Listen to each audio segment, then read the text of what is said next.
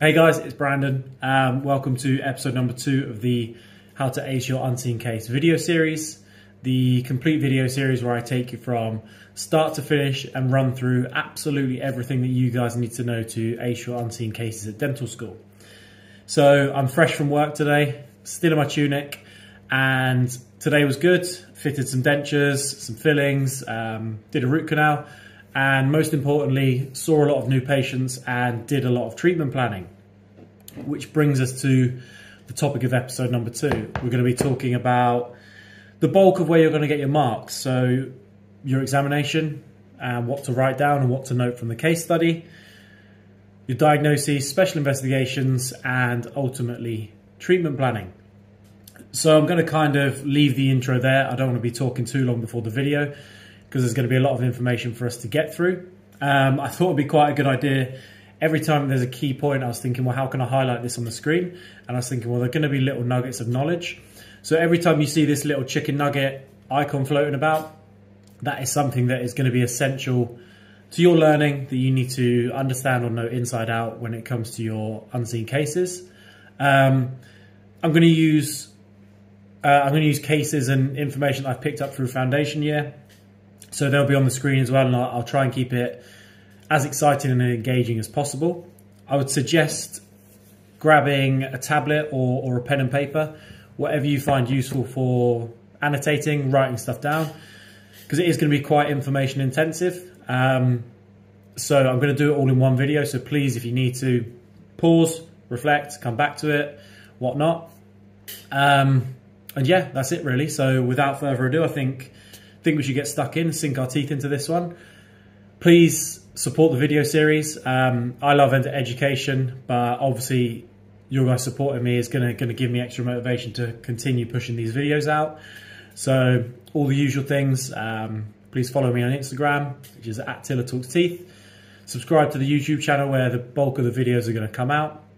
And all engagement is is appreciated. So likes, comments, shoot me DMs on Instagram. Um, I like to be interactive with the people that are watching. So yeah, let's get cracking. So I thought, why not start with our first little nugget of knowledge um, of the things that I can do. I remember when I was preparing for my unseen cases, I often felt quite overwhelmed with all the information that was on the screen. You have a set time limit to look over a case, try and pick out the key points, and then you know the examiner is going to be firing questions at you, and it can feel like a bit of a bit of a mess, especially if you don't really know how to articulate what you've seen on the screen down on a piece of paper here. So the first key thing that I think is is a massive thing that helped me is I use two color pens.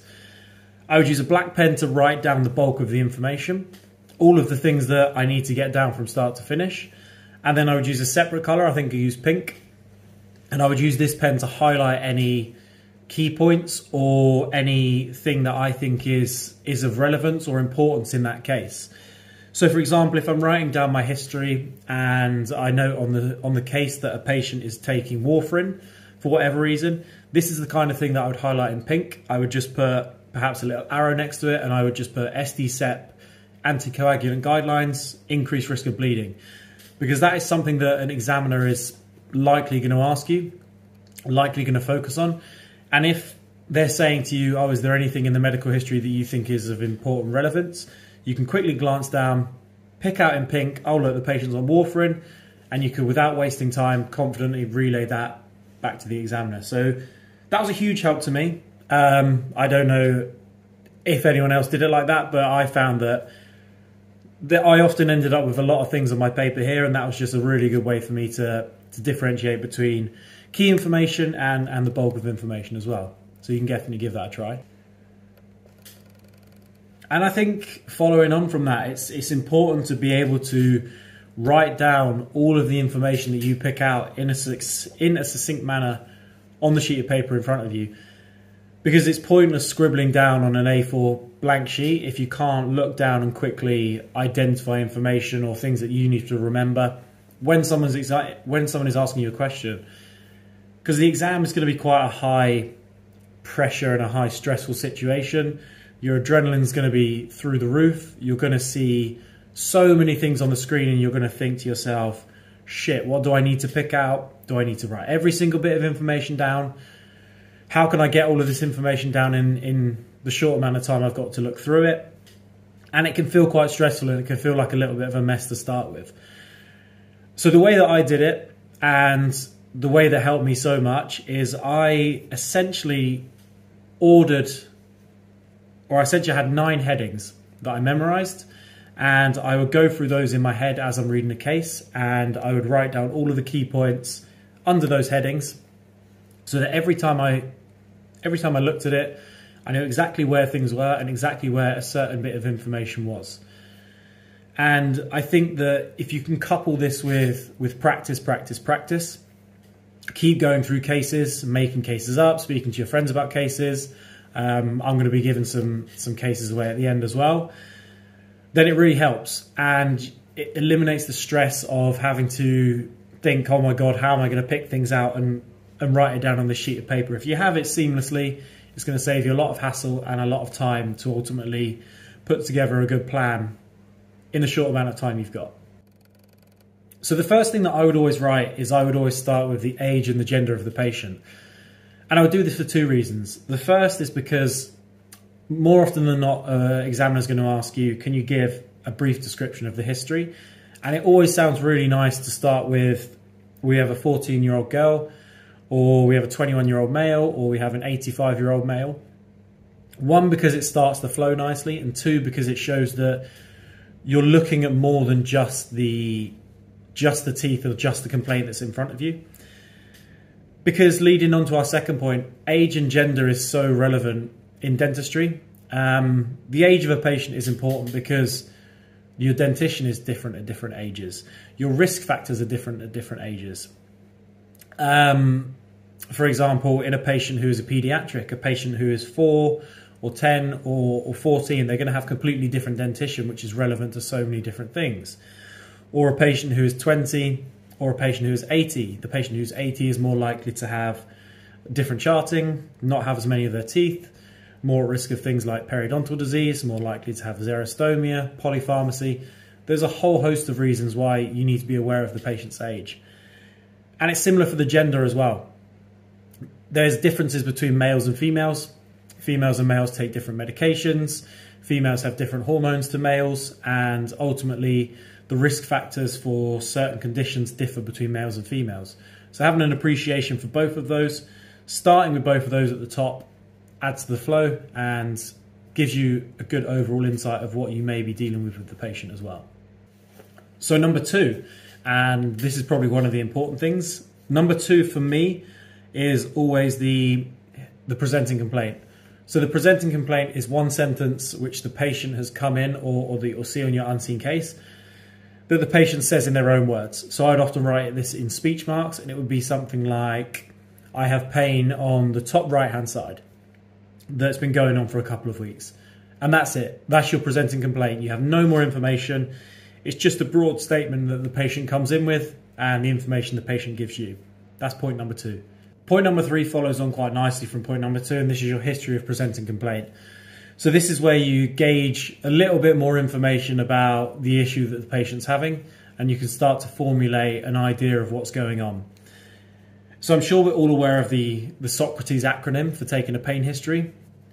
And it's brilliant because it gives you good information on everything that's going on. And it's very easy to remember when you're going through it or when you're trying to pick out a um, pick out key information on an unseen case. So I would literally write the acronym Socrates underneath my presenting complaint. And then next to it, I can just annotate exactly which parts of, of Socrates that I can pick out. And if there are parts that I can't pick out, the blanks that I can see on the page, if the examiner is to ask me, well, what further information would you like? I can look down and I can say, well, we haven't got an onset or we haven't got a time or a duration or things like that. So Socrates starts with the letter S and S stands for site. So you want to be finding information on, is it left or right? Is it maxillary or mandibular? Is it anterior or posterior? It's as simple as that. Where is the pain in the mouth? Then you move on to O, which stands for onset. And onset is simply when did the pain first start? Did it start today, yesterday, last week, last year? Um, when did you first notice it? And you can also get a little bit of information on if it's changed over time. So they could have first noticed it a year ago as a sharpness, perhaps. However, now or last week they noticed that it come back as a spontaneous dull pain. All of this information can give you a little bit more of an insight as to what's going on. Um, so it's not information on how long it's going on for, but more when it was first noticed. C is the character of the pain, which is super important. As dentists, we have the privilege to be able to diagnose based purely on what people tell us. And a lot of the time, it's from the character of the pain. So, is it a sharpness? Is it a sensitivity? Is it a stabbing pain? Does it feel like a pressure? Is it dull? Is it a throbbing pain? Anything like this that will help you give a little bit of information, perhaps on the status of the nerve or the periapical um, periapical tissues as well. You might want to ask, does it hurt when you bite down or does it hurt when you release bite?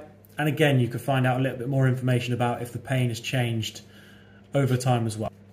R is radiation. So this is, does the pain travel anywhere else or is there anything else that's associated with it? For example, do you have pain in the lower jaw but think there might be pain in the upper jaw as well? Is there any associated lymphadenopathy, tenderness underneath the underneath the jaw here? Any TMJ issues? Any sinus involvement? Any involvement with the eye, ears, or perhaps the patient's getting headaches? Anything where the pain may be causing something else in the head and neck region, um, in particular as well. So A, A for me personally is alleviating factors. Some people use it as associated symptoms, but I tend to do that in my radiation. So for me, alleviating factors are anything that makes it better. For example, painkillers could make it better, so paracetamol, ibuprofen. Some patients could put a warm or a hot pack or a cold pack on the area, which will help with it. Sometimes it's better in the morning, uh, sometimes it's better at night time. Just try to gauge any extra information on things that make the pain better for the patient uh, generally. Moving on to T, this is where you get in this is where you're getting your information on how long the pain lasts when it comes on so you want to look at this from two angles. You want to look at first of all is it spontaneous or is it associated with a stimulus? And then you want to understand how long is it going on for. So is it a sharpness that is just associated with a symptom uh, a stimulus that disappears straight away? Or is it something that perhaps can linger after a stimulus for seconds or minutes or hours or, or a dullness that's always there? Or is it a pain that comes on on its own and again lasts for seconds, minutes, hours, days? This is really crucial alongside character because you should be building a picture in your head now of perhaps the nerve is, is inflamed to some degree or perhaps there's some periapical pathology and the symptoms for these typically are quite classic sharpness or dullness, spontaneous or with stimulus. And as soon as you can get these information, pick it off of the case presentation quite accurately, then you can start to consider your differentials. Which is nugget number two, which I was going to say afterwards, but I've kind of led on to it now. With your pink pen, when you're doing your pain history, this is the time where the brain, the cog should be ticking and you should be thinking, okay, this patient's got these certain symptoms. I think this is what's going on. As soon as you start to think that, write your differentials next to your history of presenting complaint. If you think that the patient's got reversible pulpitis relating to a tooth, pop that down there. Because no doubt in my mind, one of the questions is going to be, what are the differentials for this case? And if you've already started to list them, you can save time. One, once you've written everything down and you're trying to think them, you've actually already got some. And two, if you don't get any time to write them down when you're when you're going through the case presentation on the screen, then you can have some that you can quickly refer to and easily pick out on the paper. So I found that worked really well for me, and I thought that was quite uh, a key point that I should share. But moving swiftly on, E for me is exacerbating factors. So anything that makes our pain worse as opposed to alleviating factors. So these can be your classics, your hot, cold, sweet, does it hurt when the patient is biting? Does it hurt when the patient is chewing? Same as biting. Um, does it hurt when the patient is asleep at night? Is it more painful then? Um, Does it hurt when the patient is bending over? For example, if you have an irreversible pulpitis, sometimes pressure from tying your shoelaces or pressure from lying down can actually cause the the pain to be more intense. So anything that, that you think relevant or they think is relevant that makes things worse, jot down in your E. And finally, second S is for severity, which isn't the most important, but it's always good to throw in there. So severity typically for me, I would say, how painful is it now out of 10? With 1 being not very painful, 10 being excruciatingly painful, how painful is it now, and how painful has it been at its worst? It's as simple as that. And that's your Socrates acronym, and it's a really quick and really efficient way to do a pain history. If you learn it inside out, you can pick things off of the case in a matter of seconds and jot them down in no time and think, yep, I've got these, I understand them. Here are some differentials I've thought on. Let's move on, let's not waste any time on this. Very easy way to do it. There are a few other things that you can consider picking out from the history on the um, on the unseen case. So, for example, has the patient got any systemic symptoms? Are they fatigued or are they malaised? Anything that could suggest the spread of infection? Have they got limited mouth opening or a swelling anywhere that's associated with it? Um, have they had a foul taste? Perhaps there's a draining sinus somewhere, or perhaps you're thinking about dry socket or um, pericoronitis, which is quite important as well. And does it keep the patient awake at night, which is a huge implication in um, things like irreversible pulpitis. It's a huge giveaway factor there. So yeah, a few little extra things as well. So once you've nailed your presenting complaint and history of presenting complaint, you can start to pick other things out from the history now that are going to be relevant. And the next three headlines kind of follow on um, simultaneously from one another. So the first thing you're going to want to write down and pick out are what are your relevant medical history points. And you can split this into medications, medical conditions, and allergies. Medications and medical conditions link quite nicely together. And whenever you're noting these, you should be, with your pink pen, you should be thinking about anything that you think is relevant. So, for example, if you have a patient who has asthma or diabetes or epilepsy, anything that can fall into the medical emergency category, immediately you should start thinking, well, is it stable? For example, is the asthma, sta- asthma stable? Have they ever been hospitalized at all? When was the last time they had an asthma attack? Do they have a preventer inhaler? All of these things like that that show that you're aware of more than just the condition. Um, if you have a patient who has epilepsy, you want to be thinking about questions like when was the last time they had an epileptic seizure? Is there anything that triggers an epileptic seizure? Or are there any telltale signs that the patient can let me know that may be preceding an, um, or prodromal to an epileptic seizure? For example, do they space out? Do they become dizzy? Do they become distant? Anything like that that shows you're beyond the level of just looking or just listing and repeating a medic, uh, medical condition back to the examiners. And the same can be applied for medical conditions in relation to, and medication in relation to oral manifestations. So if you've got a medical condition, for example, let's talk about something that can present with ulcers in the mouth. So we've got um, anemia or Crohn's disease, things like that then you want to be thinking beyond the fact that the patient has just got this. Very similar to your to your medical emergencies. You want to be writing down in that pink pen, well, the patient's got this. Perhaps I should be looking out for this in the mouth. Or the patient is taking amlodipine. I should be aware that the patient might suffer from gingival hyperplasia. Or if there's a patient with polypharmacy, think, well, they're more likely to have xerostomia. They may be more susceptible to ulcerations. They may be immunocompromised, more susceptible to fungal infections. All of these things that show the examiner that you're thinking laterally and you're trying to preempt things and, and think ahead of the game. Are they taking bisphosphonates? Do they have osteoporosis? So they may be taking bisphosphonates, but the unseen case has left that one out. Why are bisphosphonates relevant? For MRONJ.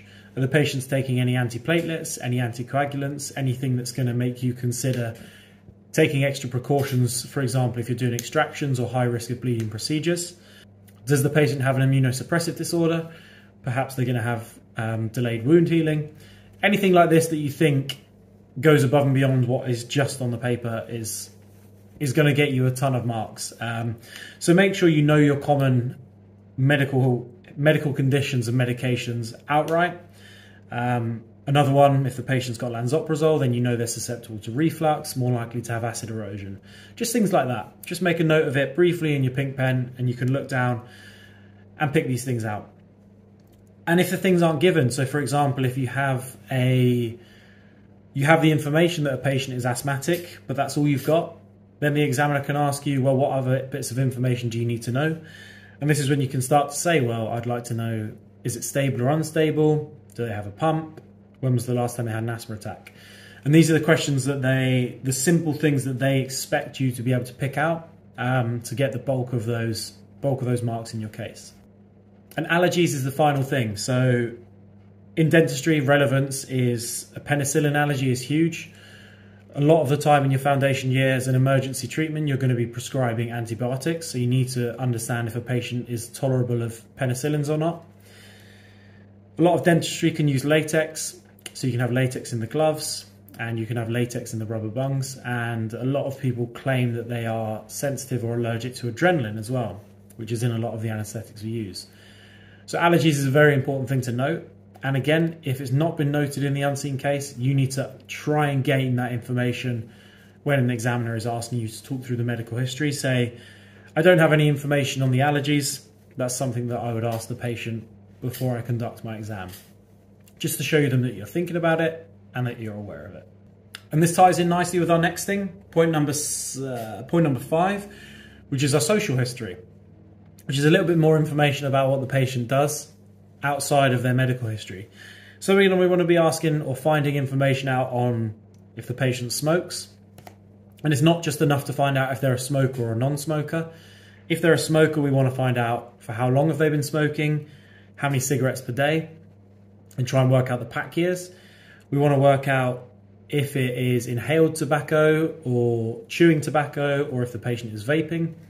And we also want to know has the patient ever tried to quit before or are they motivated to quit? Because as dentists and healthcare professionals, we've got a responsibility to give a patient very brief advice and smoking cessation advice if that's something that they're up to. So we need to find that one out. Similarly, we need to find out about their alcohol habits. So this includes how often they drink and also how much they drink so that we can work out their units per week um, with the understanding that for males and females, the maximum recommended amount of units per week is 14 units per week. But not only this, its relevance in terms of their oral cancer risk, and also a lot of alcohol is quite acidic in terms of the potential erosive um, impact of alcohol on the mouth as well. You can also get information on the patient's recreational drug use if they do or don't. And a really, really important thing to ask or find out about the patient is what is their occupation. And you're looking at this from the perspective of stress levels because stress is a major risk factor in oral health for periodontal disease. Um, if they're if they're stressed and busy, they may be less likely to attend. They may be more likely to be a nocturnal tooth grinder or have parafunction and clenching when they sleep, which puts them at a risk factor of um, dental sensitivity, tooth wear, uh, fractures and cracks, and TMJD as well. So finding out their occupation and if they lead a stressed lifestyle generally is a really important thing to remember when you're taking your social history. And I'm sure they're going to ask us about our past dental, our past, but the patient's past dental history as well, because at the end of the day, you're going to be qualifying as dentists, and these are things that we, these are the basics that we need to be understanding and picking out. So that's heading number six is picking out things about the past dental history, which include things like their attendance patterns. So are they a regular or irregular attender, or do they only attend when they're in pain? You want to understand the patient's feelings towards the dentist. So are they dentally anxious? Are they dental phobic? Are they more, sorry, are they more likely to fail to attend based on this? Um, or you're going to have to manage their behavior in a different way as well. And then you want to go through the basics. You want to be working out their oral hygiene regime. So, how often are they brushing? How long for? Are they using a fluoridated toothpaste? Are they spitting or rinsing afterwards? Are they cleaning between the teeth? So, interdental brushes or floss? Are they using a mouthwash? Um, are you using an electric or a manual toothbrush? All of these relevant things that have been drilled into our brains since first year, they should slip off the tongue, um, but often they can be missed in an unseen case when you're trying to pick out the more complex stuff. So make sure you make a brief note of those things and understand exactly what you need to be knowing um, about their past dental history. And we're nearly there in terms of history, so we can breathe soon. Um, we've got the last few bits of information that we're going to want to pick out from the case and pop down in the paper in front of us. And the next thing, so we've done our whole history, the next thing is in relation to the clinical examination. Of course, you're not going to have a patient in front of you, but you're going to have information as if um, your examiner has seen a patient and charted it and written it all down for you. So you're going to be want to picking out heading seven, any extra oral features. So you're going to want to be learning about the TMJ, you're going to want to be picking out information on the lymph nodes and symmetry and muscles of mastication as well. Number eight, following on, is your intraoral. So you want to be finding out things about the soft tissues, lips, buccal and labial mucosa, the tongue, the floor of the mouth, the hard and soft palate. Is there any potential pathology there? Um, does the gingiva look in good condition? Is there any areas of inflammation? Can you see that there's general inflammation? Is there any recession? And just making notes of things there. You could also make a brief chart here of potential areas of concern. So what I like to do is I used to like to draw um, a cross on my paper and I would write the teeth and if there's a caries or potential caries, I would just write the surface there. And it's super, super important. This is a little tangent, but this is a huge nugget of knowledge as well it is super, super important. You're not going to be doing a clinical exam. So if you get radiographs or clinical photos and you are suspicious of caries, just say it. Even if it's the smallest little shadow or discoloration, you're not going to get penalized for the fact that it's not caries. You'll get penalized for missing caries. If it's small, if it's large, they need to make sure that you understand what caries looks like and can pick it out and investigate it further. So if you're sitting on the fence with something and you're looking at a tooth and you're thinking, well, it could be caries, it couldn't be caries, just say in black and white to the examiner. If they ask you of any areas of concern, you say, the lower left six appears to have a distal occlusal shadow or staining of the fissure. I can't accurately determine exactly if that is caries, so I would do a thorough clinical examination when I saw the patient and I would take bite wing radiographs to determine if this is caries or not. And the fact that you're addressing it, ruling it out as something that could or couldn't be caries has shown that you've picked up on it. If you potentially pick up on something but you don't mention it, they're just going to assume you've missed it. Even if it's a gaping hole and you don't mention it, they'll assume you've missed it. So say absolutely anything. I've forgotten where we were. So we've done extra oral, intraoral, um, and number nine, so this is the last thing, is the best of the rest. So this is going to include noting things like your BPE scores, because there's going to be no doubt in my mind you're going to get a perio question at some point. Um, and look for anything else or ask about anything else, like a BWE exam, which is a, a basic erosion wear examination. Um, just things like that that you can quickly note down and may or may not be relevant to the case. And that's it breathe. You've had your minute and a half, two minutes to run through the case. You've got your game plan, you've got your nine points of things you need to pick out. You've clearly written them out on the page in front of you, and you've clearly highlighted the important facts in pink. That's all you can do, and get ready for the examiners to start giving you a grilling. So I think before we start section two, um, it would be a good idea for me to put an example on the screen shortly of the information that you'll be presented with in an examination, um, excluding so everything up to the point of your charting. And I think it'll be a good idea for you who's watching it to set yourself a time limit, perhaps somewhere between five and eight minutes, so you're not too rushed, um, but you've still got a time pressure. And set yourself an exercise to take a look at the screen and see if you can jot the key information down in a succinct and a clear manner. And then what I'll do after the pause is finished is I will run through a brief description of the case, picking out the key points. of how I would answer a question if an examiner was to ask me to give a, a brief description of the case that's in front of me. Um, so I'll pop that on the screen now, and please feel free to pause it now, and then I'll, I'll join you afterwards. And probably going to grab a bowl of cereal quickly in the meantime um, to reset for the next section. So yeah, good luck. So I think that's a really beneficial exercise. Um, just practicing. You can learn everything in the world on books and on paper, but if you can't, you know, write it down effectively or communicate it effectively, ultimately it's going to waste you time, uh, and it's going to put a lot of unnecessary pressure on yourself as well. So, in the lead up to your vivas, make sure that every single case that you revise, you're doing that at the start to to make it foolproof.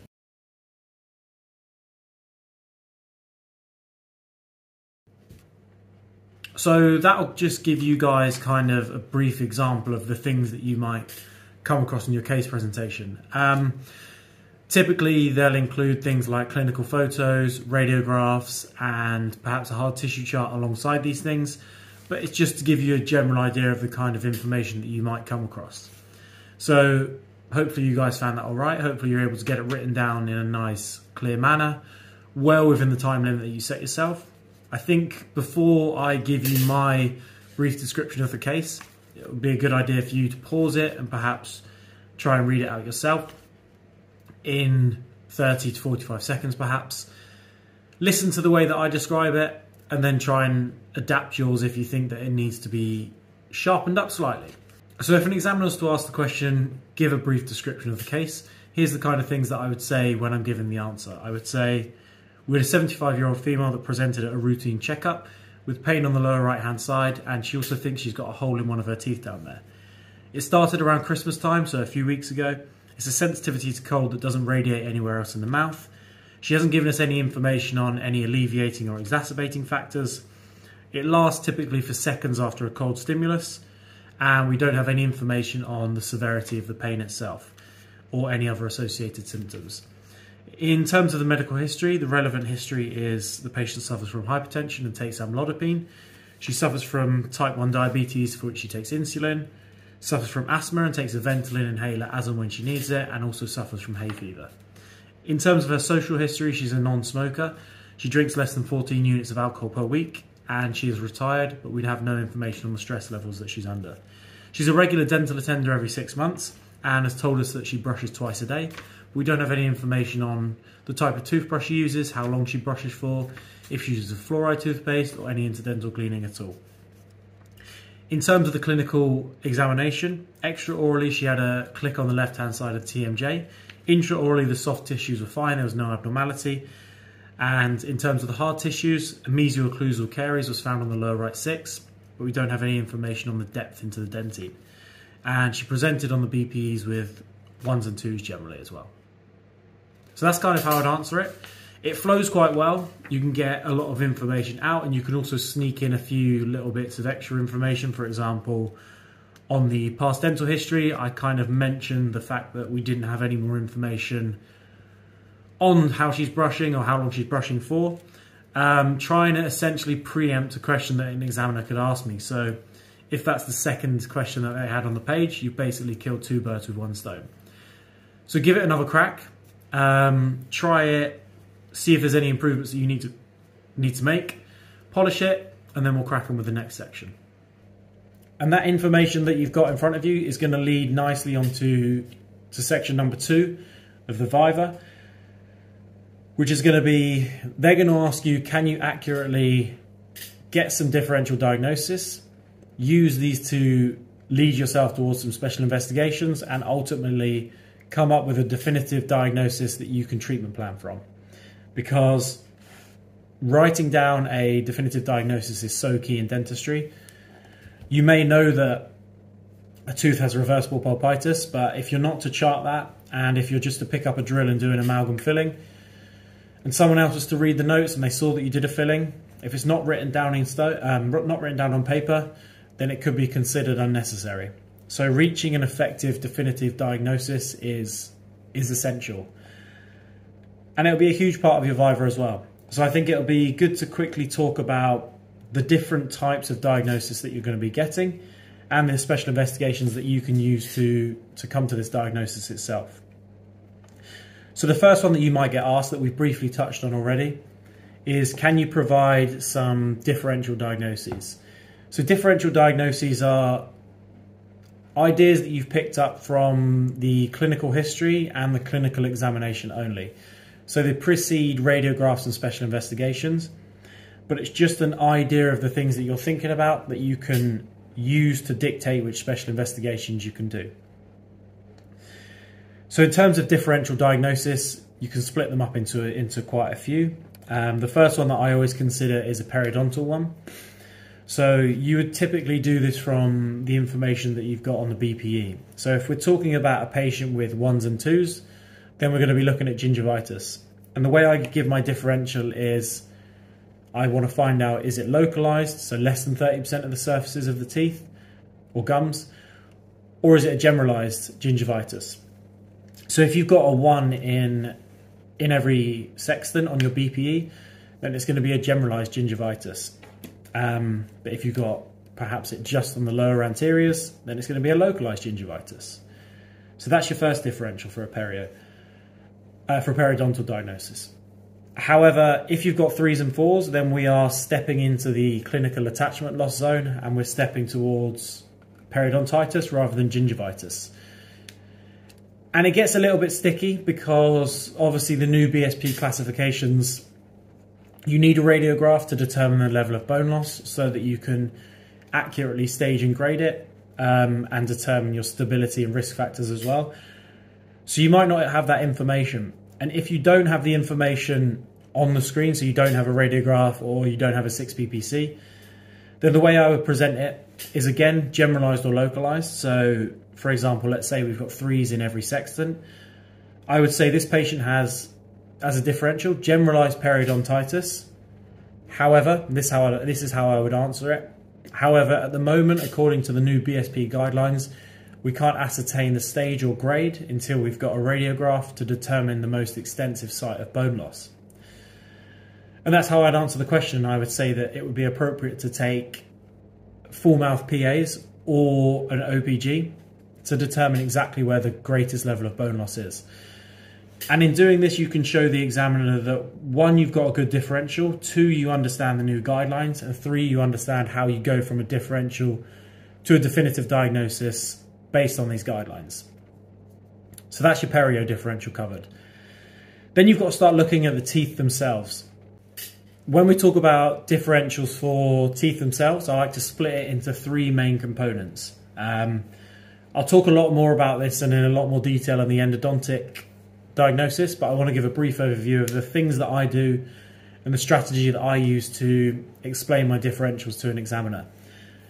So I look at the teeth from three separate parts. I look at it from what's above the gum line that I can see or observe clinically or radiographically. Then I give a pulpal diagnosis and then I give a periapical diagnosis. So for example, the things that you can see above the gum line could be caries, um, it could be a fracture, it could be a deficient restoration, it could be um, tooth wear. And it's always good to give the site, so which part of the tooth, so is it distal, is it buccal, mesial, occlusal. And it's always good to give um, the depth as well. So if we've got an enamel fracture or we've got a fracture into dentine, and specifically with caries, if you've got a radiograph, you can say, well, we've got upper left six with a distal occlusal lesion into the outer two thirds of dentine or into the inner third of dentine. Anything that if someone was to pick up this piece of paper that you've written down and described, they would be able to say exactly what's going on and understand exactly what you've seen inside the mouth. So if you've got a radiograph, brilliant. Always give the site and always give the depth. But if you don't, then you would say I would take a bite wing or I would take PAs and I would try and understand the depth of the caries or the extent of the caries.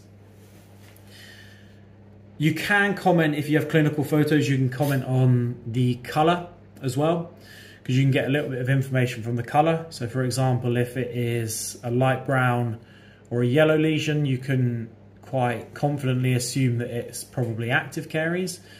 Whereas if it's a really dark brown, then typically it's an arrested caries. Um, and you can say the same for tactility as well. So with your BPE probe, if you're feeling stickiness inside the lesion, then you can confidently say that it's active caries. But if it's a scratchy, firm, or hard lesion, then you can confidently say that it's arrested caries as well. So that's also a good bit of information to include. Um, and then I give my pulpal diagnosis. So we're talking about dentine hypersensitivity, reversible pulpitis, symptomatic, symptomatic irreversible pulpitis, asymptomatic irreversible pulpitis, or pulpal necrosis. That's the next thing you comment. The third thing is the periapical diagnosis. So I use the American Association of Endodontic guidelines, um, and this describes symptomatic apical periodontitis, asymptomatic apical periodontitis, an acute apical abscess, or a chronic apical abscess. And if you put the three together, it gives a complete picture of the tooth. So, for example, the tooth on the screen now is a the tooth on the screen now is a lower left six. You can see that there's distal occlusal caries into the outer two thirds of dentine. Based on the clinical history we've got, the actually I would also comment on the radiograph. Perhaps I say Based on the PA here, you can see we've got distal occlusal caries into the outer two-thirds of dentine. Based on the clinical history, we've got reversible pulpitis and there's normal apical tissue. And because they're differentials, you can you're not wrong to say it could be dentine hypersensitivity as well because that also presents as a sharpness. However, if you're to don't list absolutely everything, because if the patient presents with these symptoms that are on the screen now and you say to someone, well, that's symptomatic irreversible pulpitis, even though it's a sharpness that doesn't linger longer than ling, linger longer, even though it's a sharpness that doesn't linger longer than the stimulus is there, which is a real tongue twister, then you know it's not symptomatic irreversible pulpitis. So only list the things that are relevant to the situation. Um, and a few other things that you're probably going to want to list on your differentials. Um, you might want to make a note of any tooth wear. Is it generalized or is it localized? Um, and into which surface? So something you might also consider as things that you can see on the soft tissue. So for example, this can be a white patch. Um, when it comes to diagnosing, giving differentials for a white patch, you won't know exactly what it is until you've got the histopathology. So you need to give sensible differentials and I would say three, four, five differentials of things that it can be. And it's always a good idea to check the medical history or the clinical history again. See if you can get any clues because you can have a list of about 20 differentials for a white patch. But trying to get it as accurate as possible based on the things you've seen is will really help you out. So for example, if you've got a patient who you knows who you know that grinds at night, then they're more likely to have frictional keratosis. Or if you have a patient who is taking an inhaled corticosteroid and the, you've got a white patch on the tongue, then you know that it's likely to be a fungal infection or something like that. Any little clues that you can pick out that can help you write sensible differentials.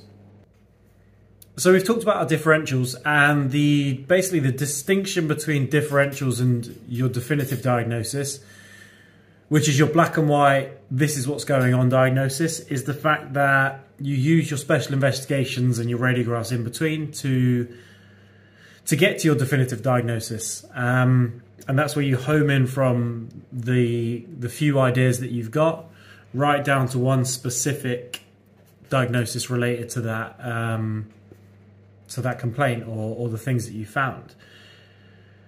So where's the jigsaw piece in between? Now that is our special investigations and that is our radiograph.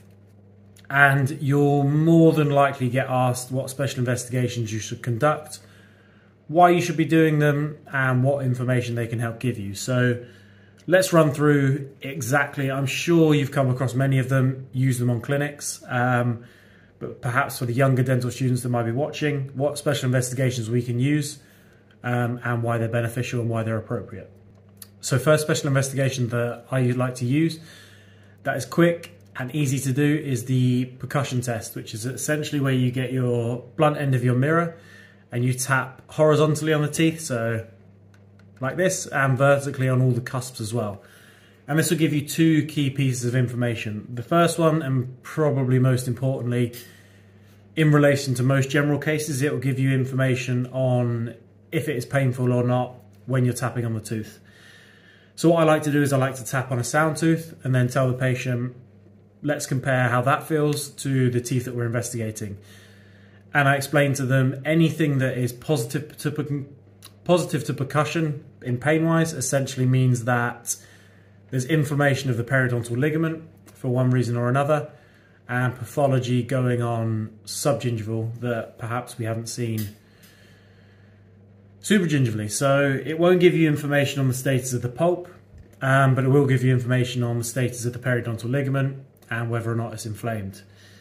Second thing that percussion will give you, and this is particularly related to um, to trauma, is you can listen out for the sound. So for example, if you have a pediatric patient with an intrusive luxation injury um, or a lateral luxation injury, if you're tapping on the teeth, as well as tendonitis, you're looking out to see if you can hear for a, a metallic sound. And essentially, what that will indicate is ankylosis of the tooth and the root into the bone. So it'll give you a little bit more information of the restorability and the condition of that tooth.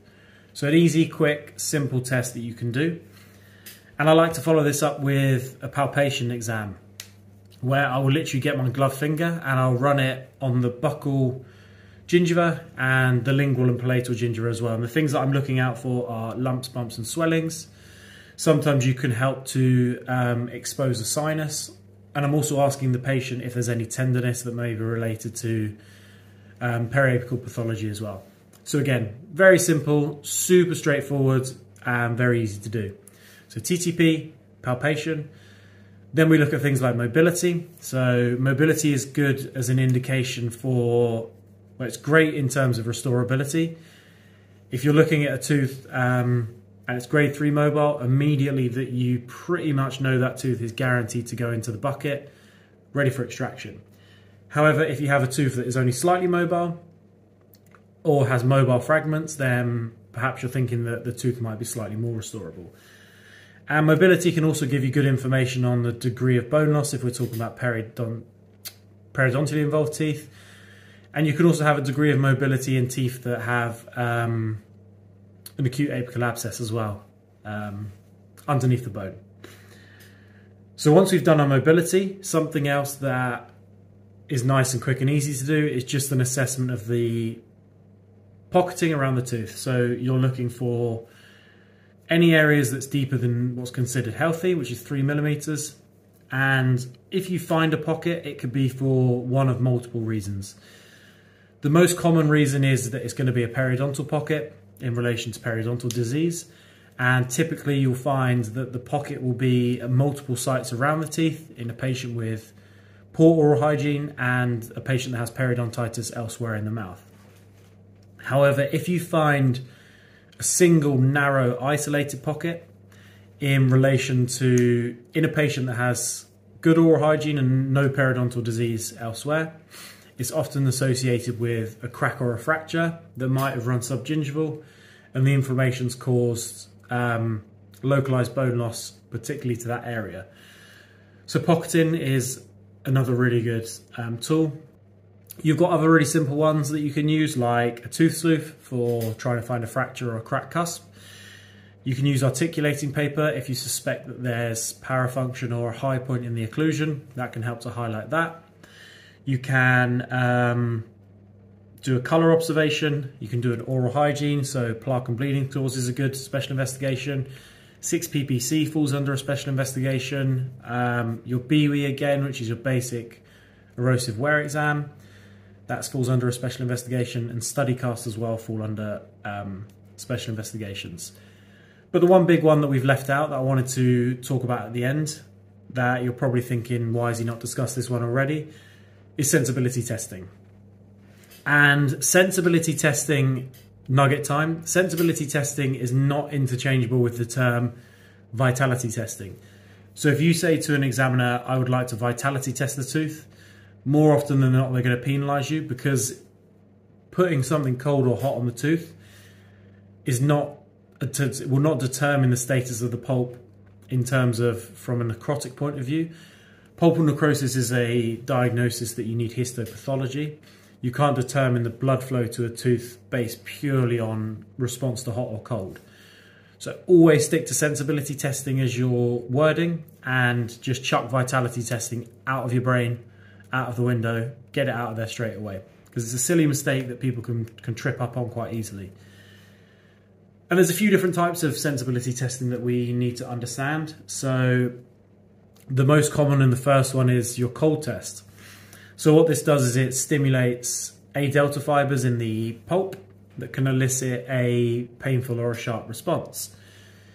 Now you've got a few options and more often than not people will have heard of ethyl chloride and endofrost and similarly to sensibility and vitality these two terms aren't interchangeable. Ethyl chloride typically goes to I think around minus 12 degrees whereas endofrost goes all the way down to about minus 45 50 degrees. So I typically use Endofrost as my cold test because you're more likely to get a response. And with ethyl chloride, because it's not as cold, in perhaps a pulp that is on its way out, you might not elicit a response as opposed to if you're using Endofrost. So I just think Endofrost as a whole is slightly more reliable, more accurate. And again, similarly to percussion, what I'll do with Endofrost is I'll put my Endofrost cotton pellet on a sound tooth and I'll say to the patient you should feel cold.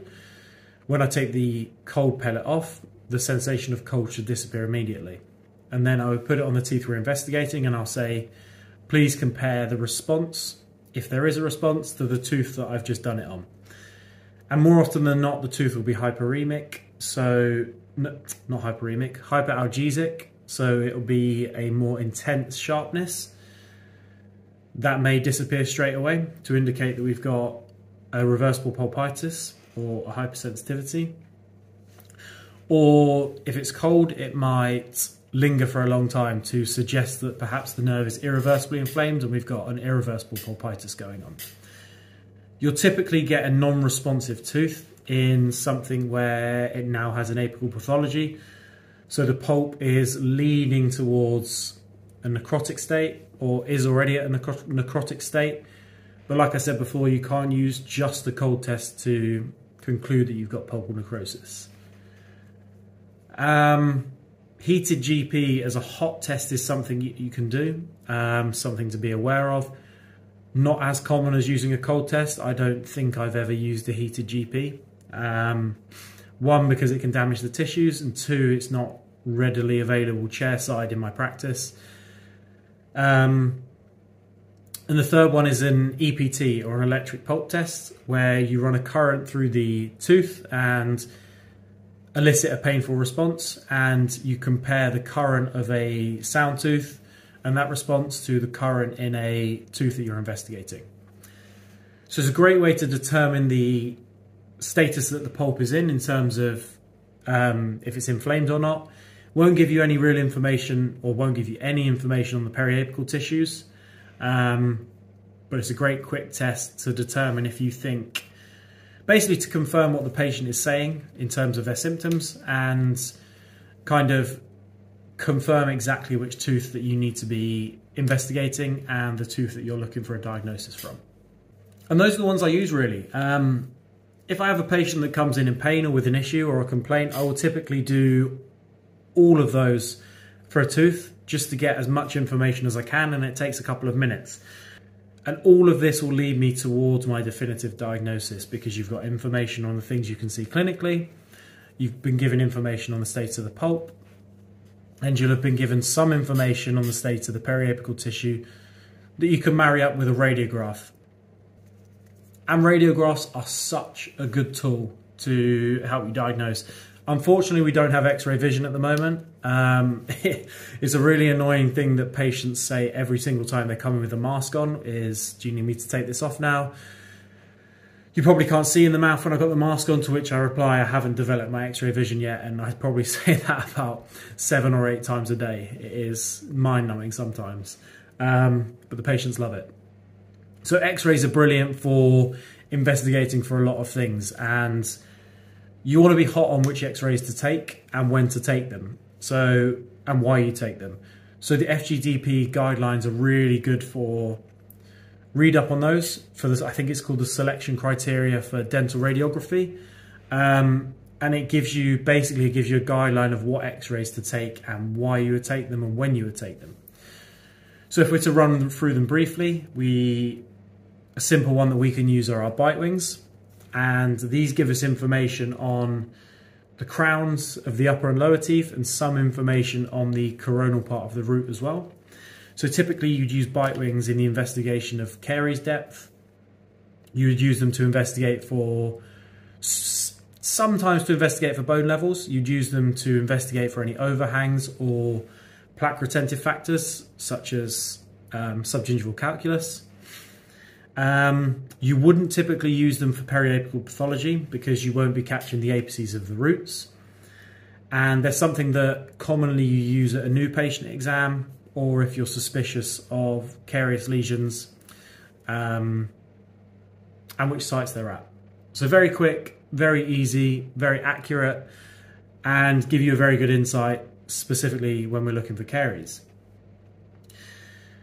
Like I said, they don't give you any information on your periapical region. So when you're considering taking a PA, this is typically when you're investigating for periapical pathology. So if you suspect that there's perhaps your tooth is TTP and you want to confirm if there's anything going on subgingivally, or you want to build a complete picture of the tooth, then that is when you would take your periapical. It gives you information on the crown, the full root, and in a gold standard PA, three millimeters, at least three millimeters of bone beyond the apex of the root, so you get information on the bone as well.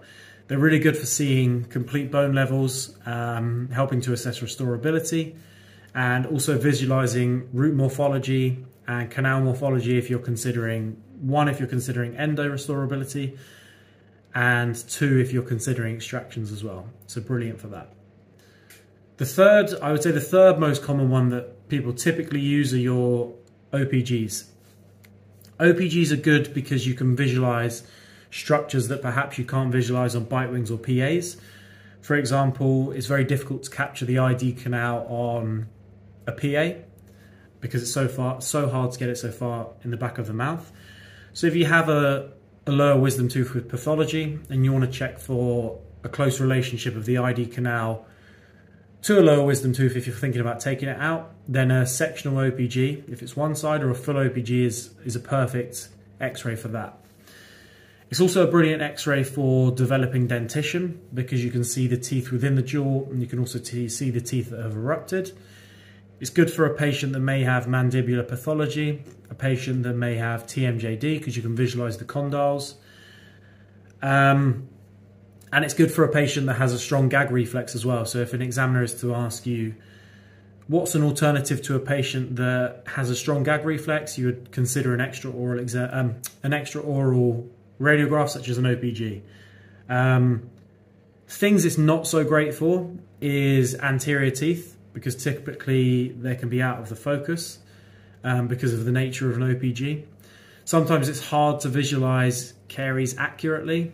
Um, if you have, because you have overlapping of the images and superimposition of the images, it can be hard to accurately determine if you've got caries or not. And it's also obviously it can't be used for endo because you can't accurately measure the length of the roots and the morphology of that. But overall, a brilliant piece of um, brilliant X-ray to use as well. And I could talk about x-rays for days, um, but I think I'll probably do a, a video on an x-ray and probably do a video on how to give a succinct radiographic report at some point. Um, so yeah, please read the FGDP guidelines, selection criteria for dental radiography, get that in your head, and then we'll practice doing radiographs in another video in the in the coming future as well, because that's a key part of the of the Viva. Okay, we're, we're almost there. We are now section number three. So we've got all the information in section one from the case that's in front of us and we've presented it in a really clear, succinct manner. Section number two, we've taken all the information that we've gained and gathered, got our differential diagnosis, conducted really nice special investigations and arrived at a definitive diagnosis. And section three is taking our definitive diagnosis and creating a treatment plan that will be effective and realistic for a patient because that's the end goal. Okay. We're going to look at this from a perspective of first of all prognosis and then run through treatment planning itself. So prognosis is, is super important when you're talking about treatment planning because like I said, you have to be realistic and it's really important to manage a patient's expectations and understanding the prognosis of a tooth goes a long way to doing this. Um, and you can save yourself a lot of time and hassle as well. For example, if you have a tooth with a hopeless prognosis, 100% bone loss, you're not going to give a patient unrealistic expectations and options that that can be restored. You're going to tell them that you recommend that that tooth is extracted and is chucked straight in the bin. So I like to look at my prognosis from a perspective of three areas, which seems to be a key of everything I look at. Um, and the three areas essentially are I look at it from a tooth tissue perspective. So is it is there enough tooth tissue to support a restoration? I look at it from a periodontal aspect. So is there enough periodontal support to for the tooth to still be functional in the mouth? And I look at it from an endodontic or an apical um, perspective as well in terms of infection, root morphology, etc., and things like that. So there's a really good um, index that I'll flash up somewhere on the screen that gives really good in-depth detail of the things that I'm about to summarize shortly. Um, and it's the Dawood et al. Dental Practicality Index. So I definitely suggest you guys have a look at that. Um, I think it scores things from 0 to 6. But it basically talks in a little bit more depth about the three areas that I like to focus on. Um, with the first one being tooth tissue. So we could look at a tooth and we could think that the roots are great and we could do a smashing endo on that and a really good RCT. But at the end of the day, if you don't have enough tooth tissue to support restoration, it's going to fail um, because you don't have a correct coronal seal.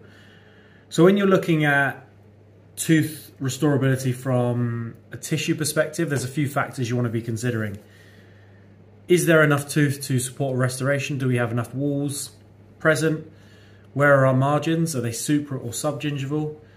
If we're talking about cracks, do we have um, supra or subgingival crack as well? Where is the decay or the cavity? Is it what portion of the dentine is it into? Is it already into the pulp? Um, and if we're looking at things like crowns and other indirect restorations, we need to consider if there's a sufficient ferrule to even support a restoration. So it's quite multifactorial. Um, but you need to address all of these aspects specific to what you're going to be doing. Um, because like I said, if you can't restore the tooth, there's no point doing all the other stuff on it in the first place. So the second thing I look at is the periodontal support. And we're looking at this from a perspective of bone levels, uh, pocket depth and mobility.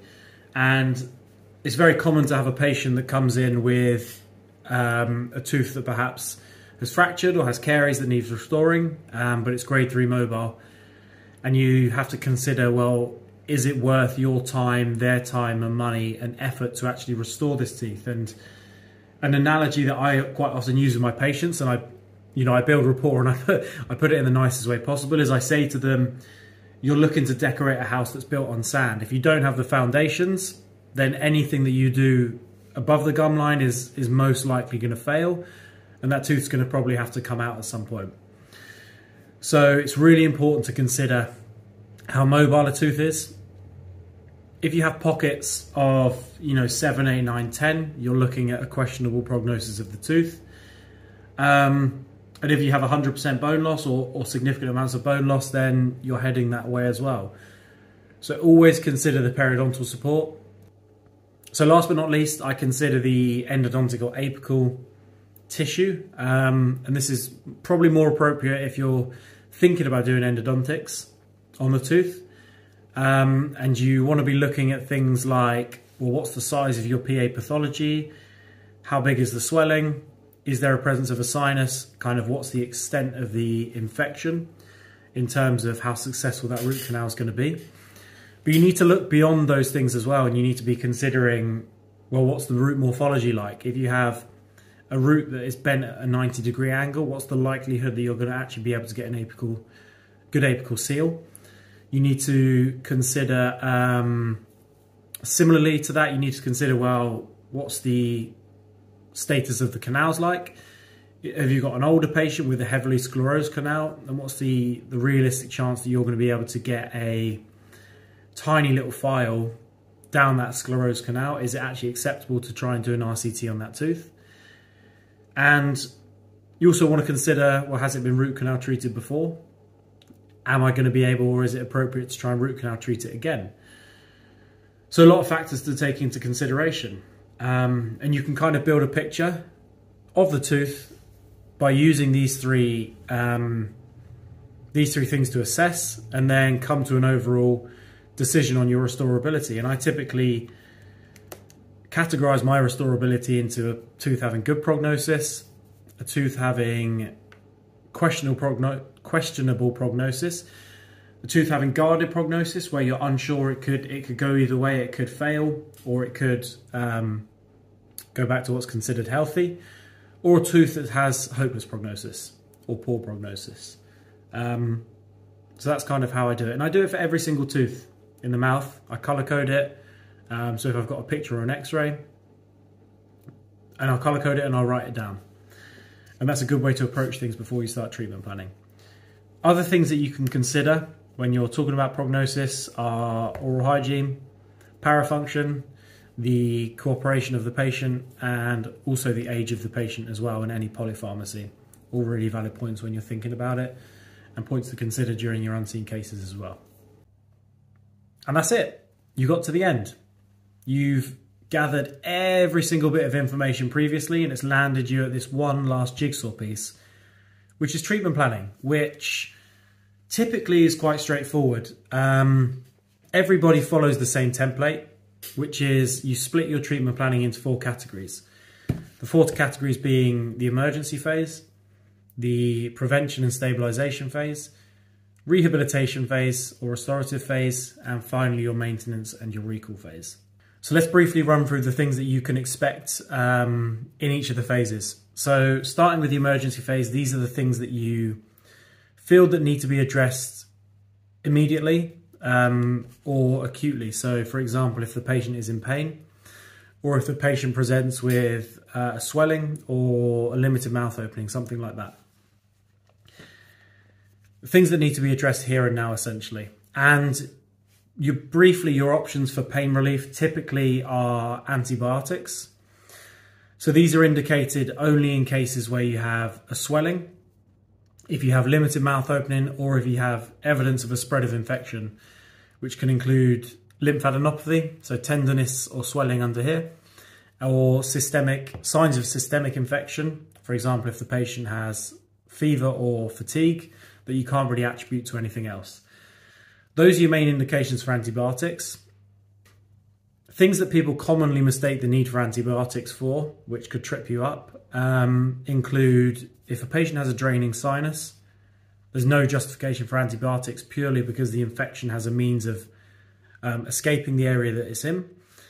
If a patient has dry socket without any of the, the aforementioned symptoms, then antibiotics aren't justified. Or if the patient or if the patient just presents in pain.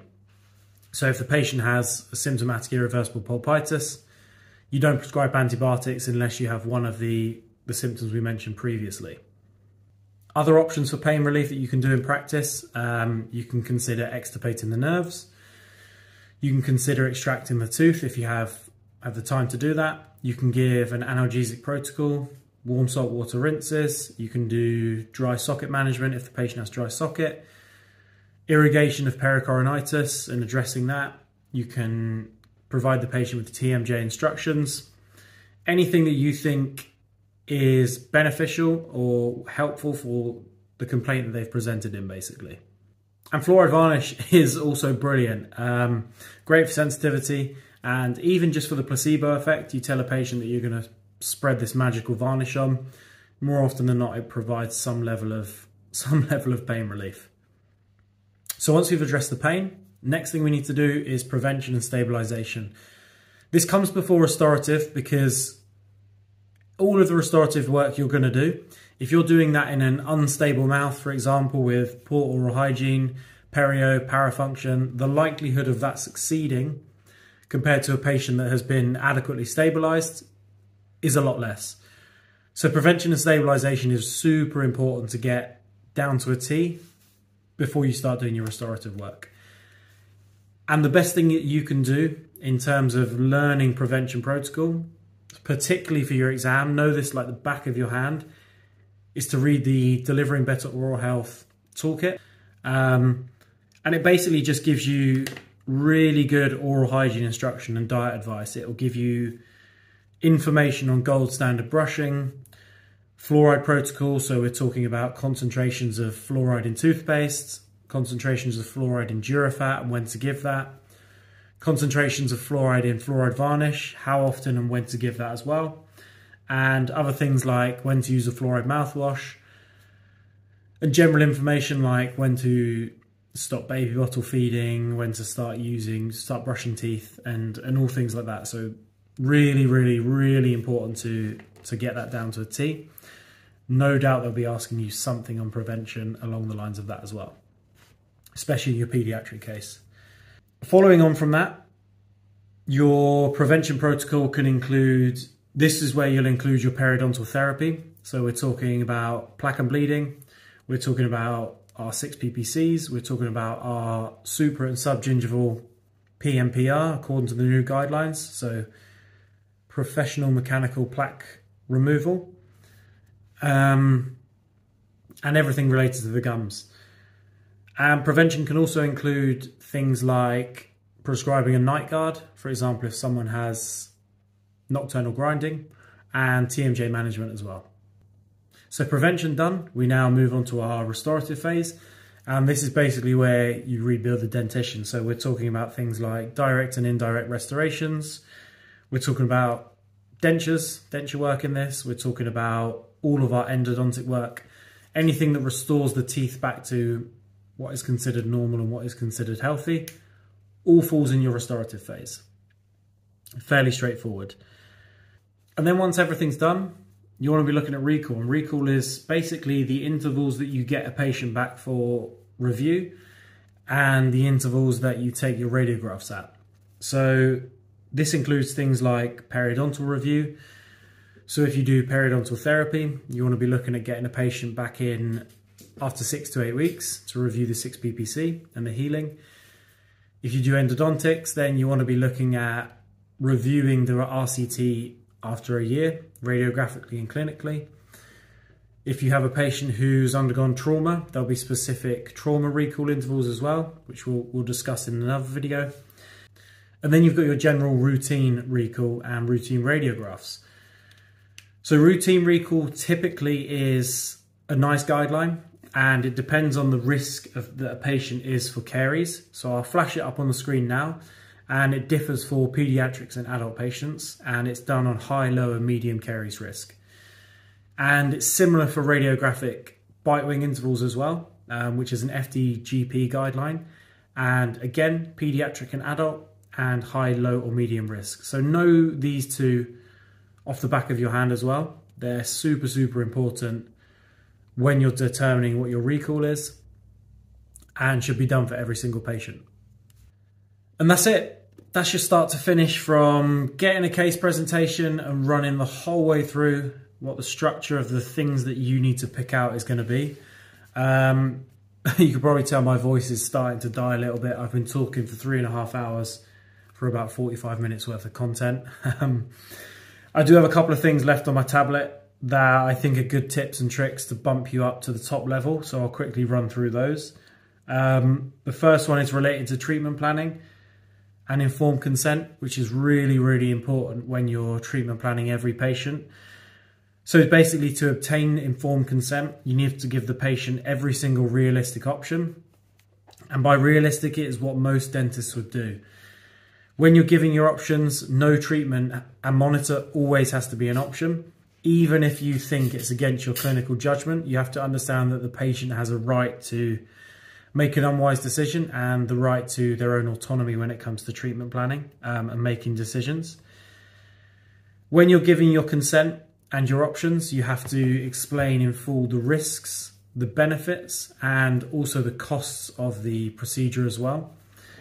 And I think it's a good time for you guys to start to learn to understand the costings of the NHS, so how the banding system works and how patients get charged, because um, it's so relevant to treatment planning.